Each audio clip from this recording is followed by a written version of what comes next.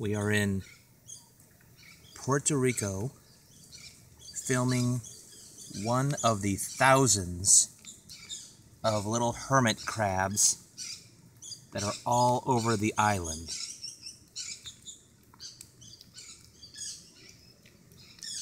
He's trying to go up into his home. That is all.